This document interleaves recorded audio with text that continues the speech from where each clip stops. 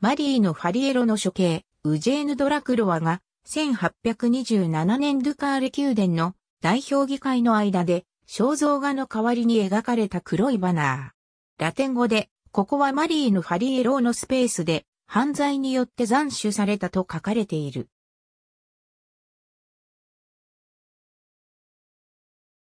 マリーヌ・ファリエロは、ベネツィアの第55代元首、マリーン・ファリエルとも呼ばれる。1354年9月に元首となった。マリーノは1355年に自身が世襲君主となるべくクーデターを計画した。